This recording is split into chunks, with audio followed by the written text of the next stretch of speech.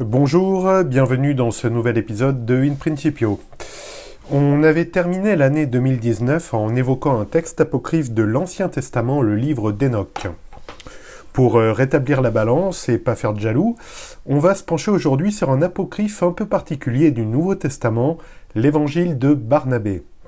Malgré de nombreux articles à son sujet, ce document est encore utilisé de nos jours par les apologètes musulmans afin de dénoncer la vision chrétienne de la personne du Christ, en particulier la réalité de son sacrifice à la croix. Texte polémique donc s'il en est, l'évangile de Barnabé a même inspiré un documentaire à sensation sur RMC en 2016. Si le documentaire reconnaît qu'il s'agit d'un évangile tardif, ne reflétant pas le christianisme des premiers siècles, il sombre en revanche rapidement dans une promotion à peine dissimulée du syncrétisme religieux. Alors pour une critique de ce documentaire, je vous laisse en description de cette vidéo un lien vers la chaîne de David Vincent qui s'est penché sur le sujet. Alors on va dans une première partie voir les données bibliques dont on dispose au sujet de Barnabé, euh, et on va s'intéresser aux témoins textuels de l'évangile qui lui est attribué. Dans un deuxième temps, on va s'intéresser au document lui-même et voir certaines de ses caractéristiques littéraires. On va enfin évoquer l'utilisation de ce document à des fins apologétiques par certains milieux musulmans. Alors les données bibliques tout d'abord. Donc on rencontre Barnabé pour la première fois au chapitre 4 du livre des Actes, où on apprend quelques informations sur son pédigré. Il est dit ceci, je cite, Avec une grande puissance, les apôtres rendaient hommage, témoignage de la résurrection du Seigneur Jésus, et la grâce de Dieu agissait avec force avec eux tous. Aucun d'eux n'était dans le besoin, car ceux qui possédaient des champs ou des maisons les vendaient, apportaient le produit de la vente et le remettaient aux apôtres. Ceux-ci le répartissaient alors entre tous, et chacun recevait ce dont il avait besoin.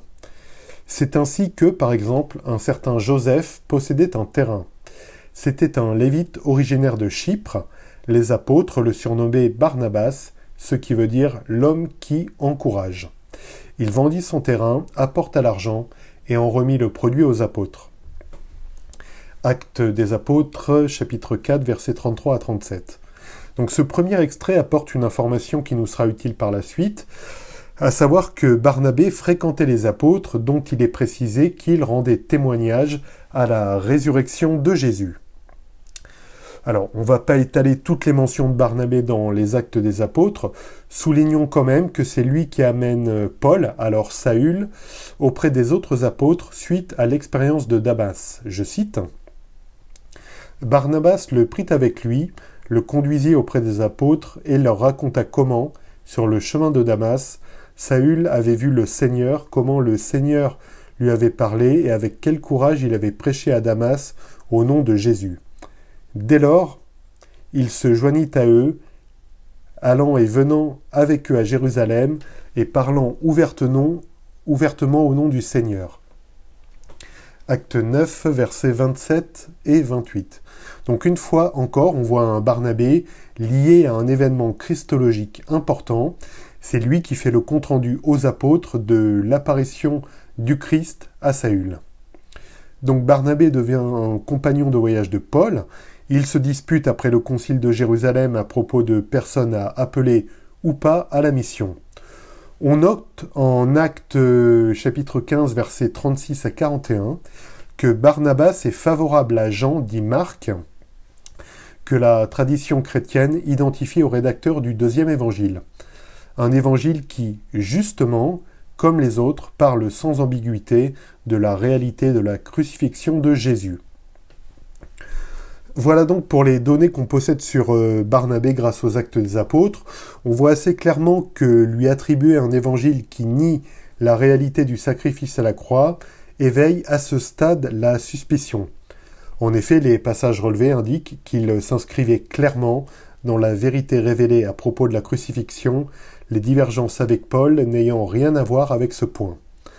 L'évangile qui lui est attribué, l'évangile de Barnabé donc, ne dispose pas de témoins de qualité. C'est un texte qui prétend être un récit de la vie de Jésus. Les plus anciens manuscrits datent du XVIe siècle et sont écrits en italien et en espagnol. L'ensemble pèse plus de 200 chapitres, ce qui en fait un écrit relativement long pour ce type de production. Le plus ancien manuscrit du Nouveau Testament canonique date euh, quant à lui du début du IIe siècle. Il s'agit d'un papyrus. Le papyrus le plus célèbre contenant un texte du Nouveau Testament est peut-être le papyrus 66 qui date du IIe siècle et contient la quasi-intégralité de l'Évangile selon Jean. Les plus anciens codex complets remontent quant à eux au IVe siècle. Donc d'un point de vue archéologique, il est difficile de donner une crédibilité à cet évangile de Barnabé, dont la plus ancienne copie arrive 1500 ans après le ministère de Jésus, alors qu'il existe des papyrus de copies d'évangiles ayant moins d'un siècle d'écart avec la date supposée de leur rédaction. On aborde maintenant le deuxième point, les caractéristiques littéraires. Alors, pour vous donner une idée, voici un extrait qui est le prologue de cet évangile de Barnabé. Barnabé, apôtre de Jésus de Nazareth appelé Christ, à tous ceux qui habitent sur la terre souhaite paix et consolation. Très cher, le grand et admirable Dieu nous a visités, ces jours passés, par son prophète Jésus-Christ, en grande miséricorde de doctrine et de miracles. C'est pourquoi beaucoup, trompés par Satan, sous couvert de pitié, prêchent une doctrine fort impie. Ils appellent Jésus fils de Dieu, rejettent la circoncision, alliance de Dieu à jamais, et autorisent toutes sortes d'aliments impurs. Parmi eux, Paul lui-même est dans l'erreur, et je n'en parle pas sans douleur. En conséquence, je vous écris cette vérité que j'ai vue et entendue en fréquentant Jésus, afin que vous soyez sauvés, et que vous ne soyez pas trompés par Satan, et que vous ne périssiez pas dans le jugement de Dieu. Gardez-vous donc de quiconque vous prêche une doctrine nouvelle, opposée à ce que je vous écris, pour que vous soyez sauvés à jamais. Que le grand Dieu soit avec vous et vous garde de Satan et de tout mal. Amen. Voilà, donc comme vous pouvez le constater, un lecteur du Coran ne serait pas spécialement dépaysé par un tel texte. Dès le prologue, l'auteur entre dans une apologétique vive à l'encontre de la doctrine chrétienne. Les expressions elles-mêmes ne reflètent pas le style des évangiles canoniques. Par exemple, le grand et admirable Dieu, le grand Dieu résonne plus comme des termes de sourate coranique que comme des écrits du début de l'ère chrétienne. Donc le texte est très long hein, et ne peut être résumé dans ce podcast. Je vous propose simplement de voir deux passages révélateurs de l'identité du texte. Tout d'abord, voici un extrait du chapitre 13.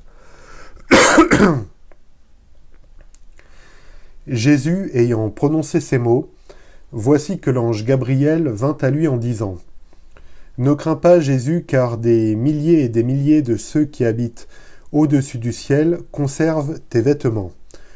Tu ne mourras pas avant que s'accomplisse toute chose et que le monde soit proche de sa fin. Jésus tomba la face contre terre en disant Seigneur, grand Dieu, quelle est grande ta miséricorde à mon égard. Que te donnerai-je, Seigneur, pour tout ce que tu m'as donné?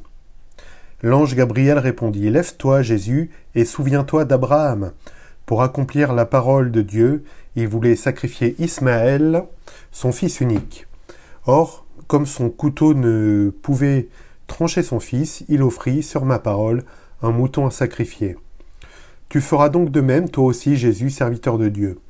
Jésus répondit volontiers, mais où trouverai-je l'agneau?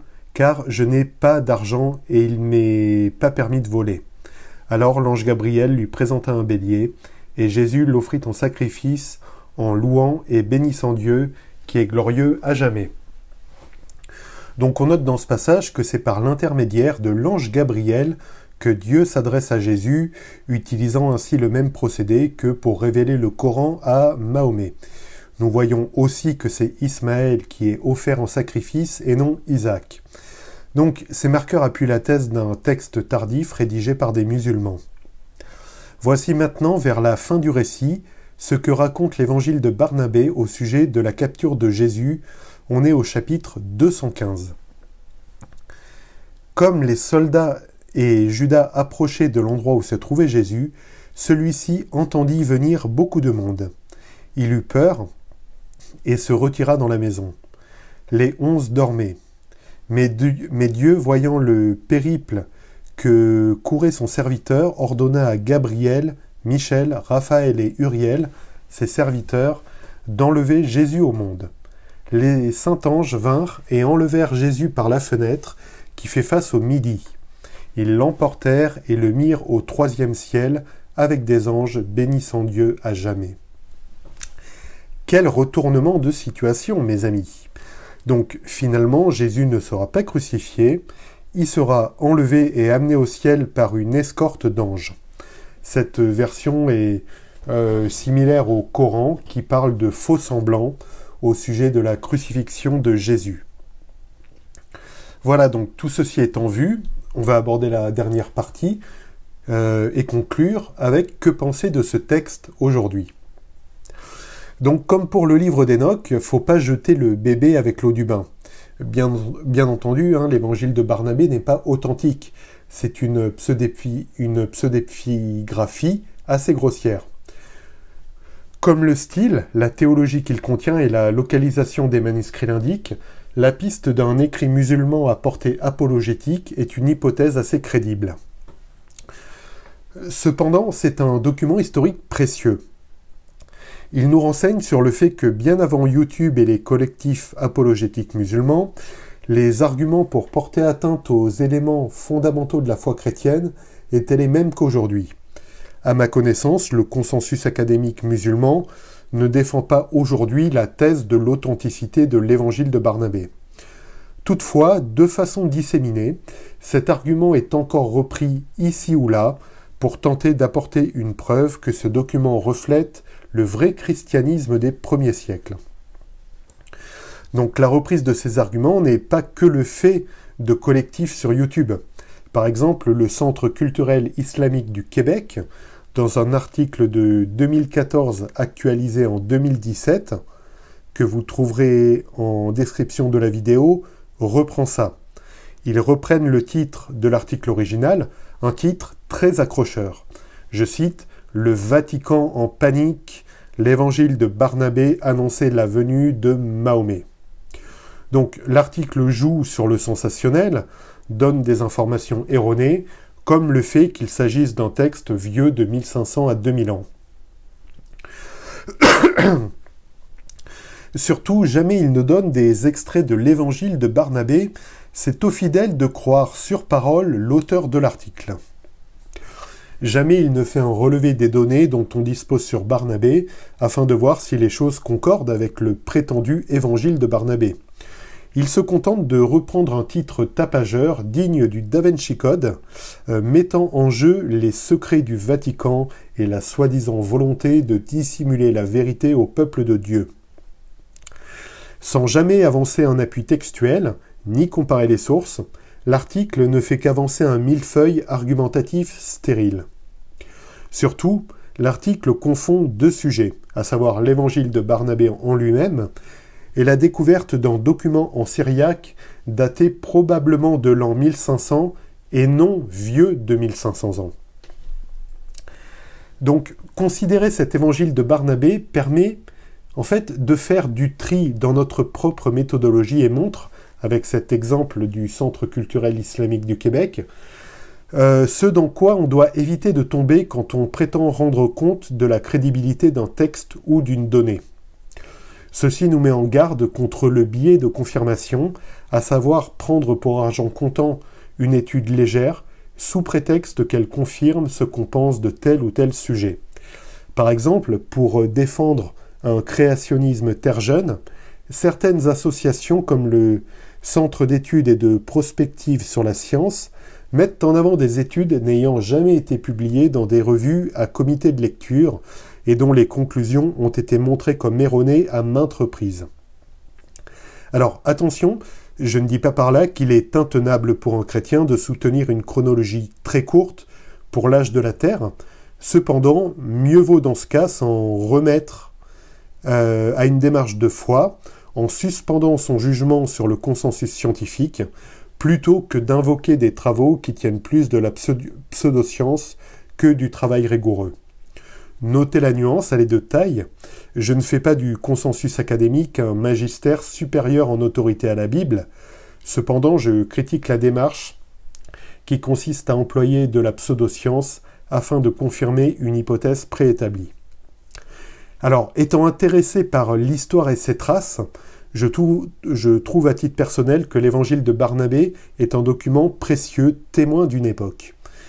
C'est un ouvrage qui permet de se rendre compte des controverses christologiques anciennes, de voir que ces controverses sont toujours d'actualité. En somme, c'est une motivation supplémentaire à toujours mieux connaître notre Seigneur et Sauveur Jésus, afin de témoigner de sa vie, témoigner de sa mort sur la croix et témoigner de sa résurrection. Voilà, merci, ce podcast est terminé. Euh, soyez tous abondamment bénis et je vous dis à la prochaine.